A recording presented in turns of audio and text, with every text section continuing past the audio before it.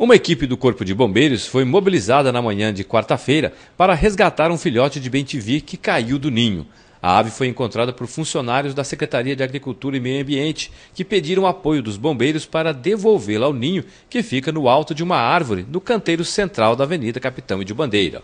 Eu acho que devido ao vendaval de ontem, né, ele veio a cair do ninho, aí, mediante solicitação do, dos munícipes, é, a gente não é uma obrigação nossa, a gente trabalha aí com outros tipos de animais. Mas por ser questão do animalzinho silvestre, no momento não consegui mais acionar ambiental, acionamos o pessoal dos bombeiros aí, deu suporte devolveu ele pro ninho. E vamos ver, né, o, o, se a mãe vai aceitar ela de novo lá.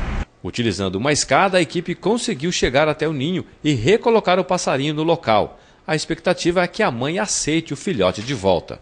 É, ele, ele, foi manuseado, é, acaba tendo o cheiro de mãos e tal.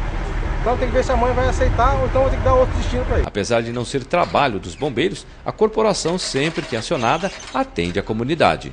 Essa é uma troca de favores, né? O pessoal da SEMA sempre ajuda a gente, é, captura de, de animais silvestres, mesmo de cachorros.